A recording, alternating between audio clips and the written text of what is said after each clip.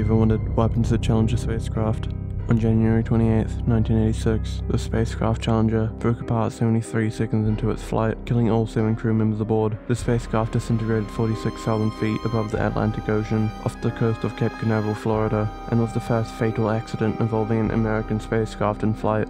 The crew compartment and many other fragments from the shuttle were recovered from the ocean floor after a three-month search and recovery operation. The exact timing of the death of the crew is unknown, but several crew members are thought to have survived the initial breakup of the spacecraft. The orbiter had no escape system, and the impact of the crew compartment at terminal velocity with the ocean surface was too violent to be survivable. As a result of the disaster, NASA established the Office of Safety, Reliability, and Quality Assurance and arranged for deployment of commercial satellites from expendable launch launch vehicles rather than a crewed orbiter. To replace Challenger, a new Space Shuttle orbiter Endeavour was approved in 1987, but